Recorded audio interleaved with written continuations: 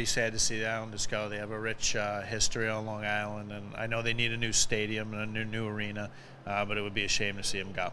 Uh, I think it'd be a bad thing because we really appreciate that team and we, you know, grow to love them. So it would be a real tragedy. I don't think they're going to because they're a symbol of the island. I think it would be um, detrimental to the fabric of Long Island because it's traditionally they have been such a big part of Long Island life here. I think it would be sad if they left the island. Uh,